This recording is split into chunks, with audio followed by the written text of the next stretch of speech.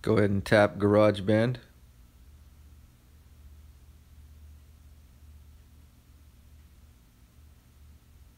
And you want to click plus.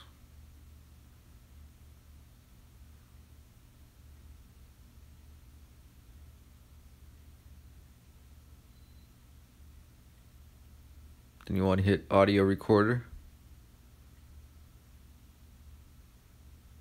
Then you hit the top right gear setting, the song setting. Go to metronome and count in. Scroll down and check no sound. Then click done. Then you want to go to the plus sign top right, click 8 bars, and then go to automatic, tap that automatic, done. Hit that metronome symbol and unhighlight it. I'm gonna go ahead and hit the top right loop button by the settings and then go to hit music. Then you hold down the song and you drag it in to a new track. Hit play to see if it works. now you want to have a pair of headphones connected to your iPhone. And you want to highlight the other That's microphone. the only way this will work properly. Vocal track. Then you want to hit record. It'll count you in. then you record to the track.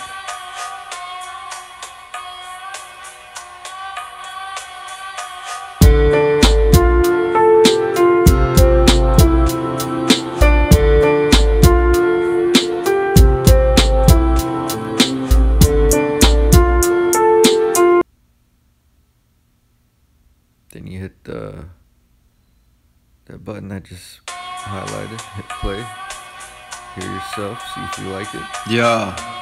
If you don't, delete it. Yeah. And do it again. Blood clot mess, they got me fucking stressing. Got no cash checks for this next month's rent. Spine is getting bent, working nine to five. Trying to say a lot to get a piece of the pie. Now, if you like it, you prepare it to send to me.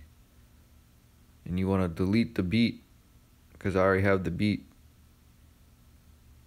Then you want to hit the top left down arrow. Hit my songs.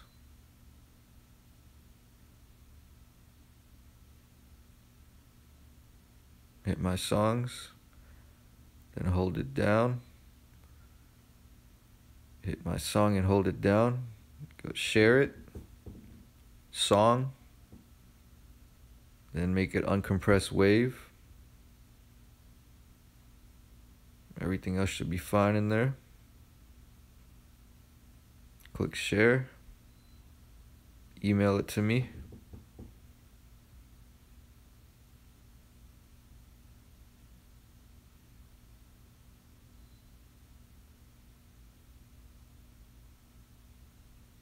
d.v at axumus.com. Click send. And that's it. If I like it, I'll mix it, master, and release it as your remix. Simple as that.